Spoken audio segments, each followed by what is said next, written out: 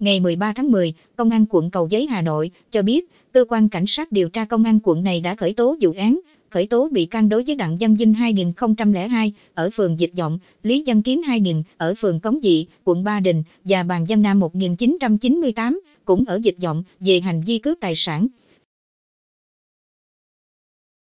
Trước đó, rạng sáng 7 tháng 10, sau khi uống rượu tại khu vực đường Trần Phường Mai Dịch, quận Cầu Giấy, ba đối tượng đã chỉ đạo hai xe máy đến khu vực đường Hồ Tùng Mậu thì phát hiện anh Phạm Văn Mỹ, Phạm Tiến Nhật và Phan Quốc Bảo đèo nhau trên xe máy theo hướng ngược lại nên đuổi theo, ép vào lề đường.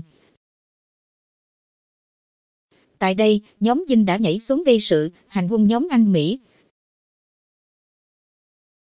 trong số đó có nam tự xưng là cảnh sát hình sự, còn Kiến yêu cầu nhóm của anh Mỹ phải đưa cho các đối tượng 200.000 đồng.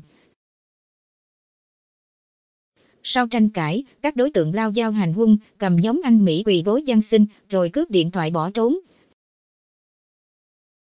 Nhận trình báo, Công an phường Mai Dịch, đội cảnh sát hình sự Công an Cầu Giấy phối hợp với phòng cảnh sát hình sự Công an Hà Nội triển khai lực lượng xác minh, truy tìm đối tượng. Đến ngày 10 tháng 10, tại khu vực phố Tô Hiệu quận Cầu Giấy, lực lượng công dụng đã phát hiện ba thanh niên đang chỉ đạo hai xe máy có đặc điểm nhận dạng trùng khớp với trình báo của bị hại nên hát sát, kiểm tra. Công an thu giữ trong cốt xe máy điện thoại của các bị hại mà những đối tượng này cướp được trước đó.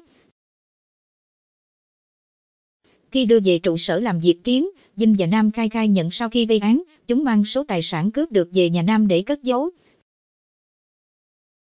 Đến ngày 8 tháng 10, Nam đem bán một chiếc điện thoại lấy tiền chi cả nhóm.